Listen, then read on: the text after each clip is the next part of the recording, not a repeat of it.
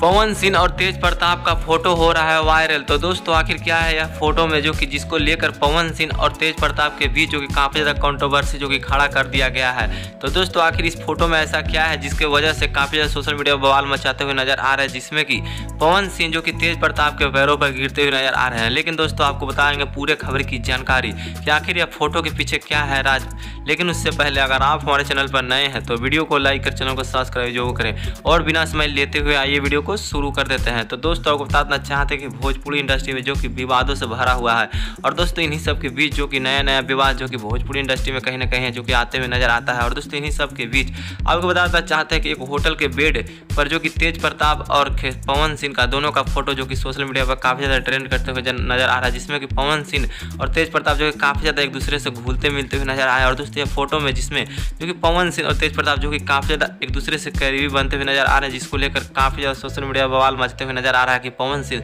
जो कि तेज प्रताप के पैरों में गिरते हुए नज़र आ रहे हैं। और दोस्तों, इन्हीं सबके बीच आपको बताना चाहते हैं खेसार लाल यादव जी को लोग बोलते हुए नज़र आ रहे हैं कि खेसार लाल यादव जी जो कि तेज प्रताप हमेशा दिल में बसते हुए नज़र आते हैं। लेकिन दोस्तों, आपको बताना चाहते हैं कि दोनों ही स्टारों का जो कि जगह तेज प्रताप के नज़रों में जो कि काफ़ी ज़्यादा अच्छा है, क्योंकि तेज प्रताप, जो खेसार लाल यादव जी और पवन सिंह दोनों को अपना एक भाई मानते हैं। और दोस्तों, इस तरह से जो कि कुछ लोग, जो कि अफवाह उड़ा रहे हैं कि पवन सिंह जो कि तेज प्रताप के पैरों में गिर कर जो कि माफ़ी मांग रहे हैं। लेकिन दोस्तों, आप कहना चाहेंगे कि आखिर ऐसा क्या है, जिसकी वजह से इस तरह से लोग बोलते हुए नज़र आ रहे हैं? लेकिन दोस्तों, वहीं पर खेसार लाल यादव जी की बात किया जाए तो खेसार लाल यादव जी, जो कि हमेशा से लालू परिवार से जुड़े हुए नज़र आते हैं और दोस्तों